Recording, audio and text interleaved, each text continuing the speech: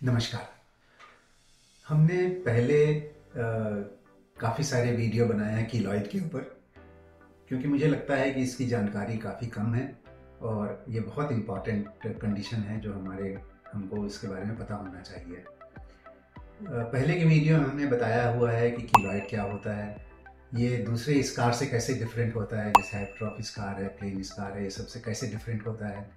और कैसे कैसे इसका इलाज करना चाहिए कीलॉइड का, हाइपोट्रॉफी स्कार का, सर्जरी से या दूसरे तरीके से?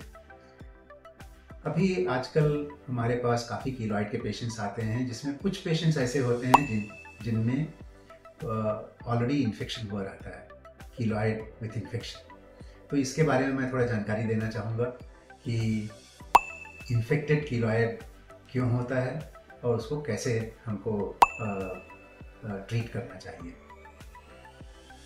इन्फेक्शन जो है कीलॉइड में काफ़ी कॉमन है, क्योंकि जो कीलॉइड का सरफेस होता है अनइवन होता है, और उसमें जो पिट्स होते हैं या डिप्रेशंस होते हैं, उसमें आपका मैल, थोड़ा धूल, ये सब जमा हो जाता है, उसके कारण वो इन्फेक्ट हो जाता है।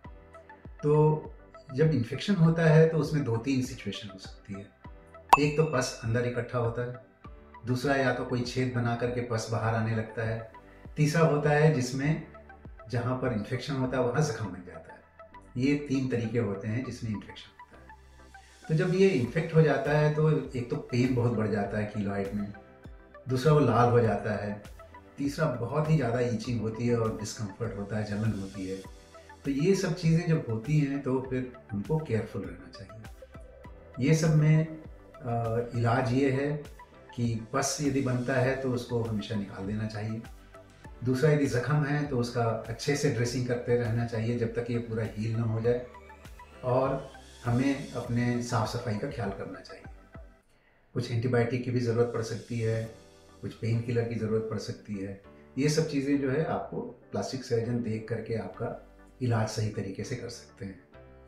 लेकिन इसके साथ में एक सावधानी बहुत ज़रूरी है, जिसके बारे में बताना चाहूँगा, क्योंकि कुछ पेशेंट्स ऐसे आए हुए हैं जो इन्फेक्शन के साथ में उनको उनके साथ में थोड़ा ट्रीटमेंट में प्रॉब्लम थी।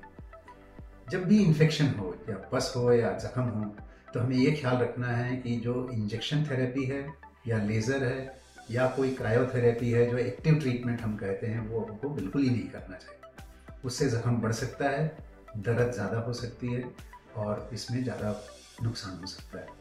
तो जब भी इन्फेक्शन हो तो हमें ये एक्टिव ट्रीटमेंट जो है, नहीं करना चाहिए। दूसरा ये है कि जब इन्फेक्शन होता है, ज़ख़म यदि है तो कभी कभी हमको इसमें ऑपरेशन करने की ज़रूरत पड़ सकती है, जिसमें हम उसको निकालते हैं और हम उसमें स्किन लगा सकते हैं। तो उसके प्रोज एंड कॉन्स हैं, जो आपको डॉक्टर जब सलाह देते हैं या प्लास्टिक सर्जन देखते हैं तो आपको अच्छे से बता सकते हैं। लेकिन ये एक तरीका है, एक स्थिति है जिसमें हम कीलॉइड में ऑपरेशन कर सकते हैं।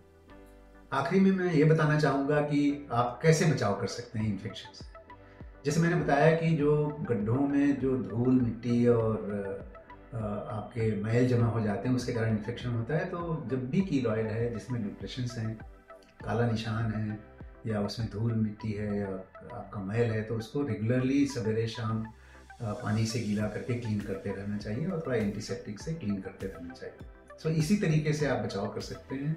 साथ में मालिश करिए और उसमें ऑइंटमेंट मॉइस्चराइजर लगाते रहिए तो इसमें इन्फेक्शन के चांसेस कम होते हैं। तो संक्षेप में मैं बताना चाहूँगा कि एक ऐसी स्थिति है कीलॉइड में इन्फेक्शन एक ऐसी स्थिति है, जिसमें जो कीलॉइड वाला आदमी है या जो पेशेंट है वो परेशान होता है, लेकिन उसका इलाज है और इसको हम सही तरीके से ठीक कर सकते हैं। धन्यवाद।